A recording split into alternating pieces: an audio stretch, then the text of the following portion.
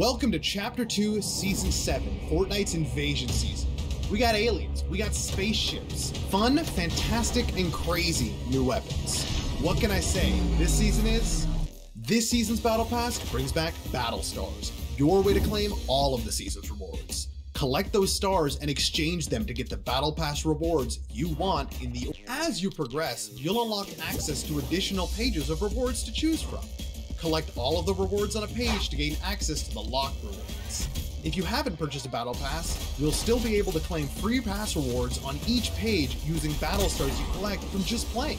If you gained XP by playing or bought a level with V-Bucks, you'll get 5 more Battle Stars. As usual, you can get all 100 Battle Pass rewards by reaching level 100. Get Galactic, snag those stars, and unlock your favorite rewards.